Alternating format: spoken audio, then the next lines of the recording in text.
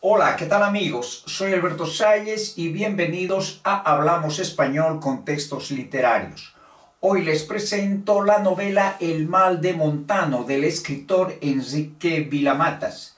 La novela fue galardonada con el premio Esalde de Novela en el año 2002.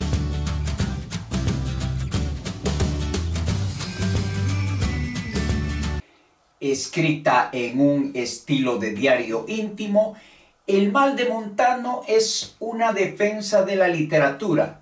El narrador se presenta como Rosario Girondo y nos presenta su enfermedad que la bautiza tomando el nombre de su hijo, como el mal de Montano, quien, en otras palabras, sufre el mal de la literatura. En síntesis, Rosario Girondo está poseído por el mal de Montano y para curarse va a peregrinar por las ciudades de Nantes, Lisboa, Praga, Budapest, Valparaíso y hasta por las Islas Azores. La cruzada que emprende le ayudará a conjurar su enfermedad a través de una lucha que sostiene contra los enemigos de la escritura, contra el realismo literario que según él corrompe la imaginación de los escritores y la de los lectores.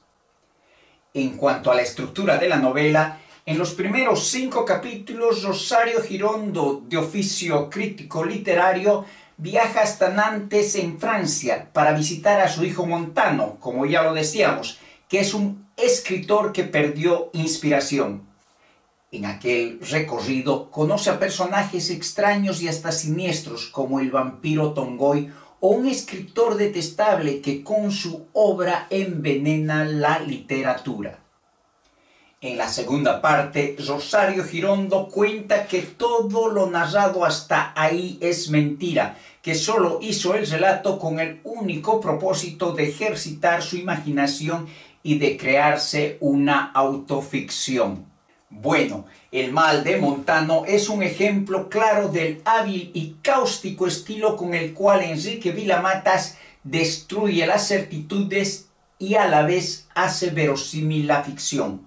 Por eso, un lector precavido de sus novelas deberá conducirse a través de su obra con cautela y desconfianza, porque Vilamatas, más que contar una historia, lo que pretende es mostrar las posibilidades del lenguaje, la estética de la narrativa.